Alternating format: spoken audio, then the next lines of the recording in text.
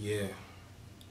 What's good? Um, your boy Mack Taylor. Um, like I just finished the shoot not too long ago, and um, now I'm about to put up a bored in studio vlog. Put something out there. Uh, this especially goes to the Walking Dead fans. If you like Walking Dead, you you most likely like this. You'll love this. So uh, sit back, enjoy, and um, yeah. So I'm gonna just break down this beat I've been working on. It ain't even finished, but here's a little something.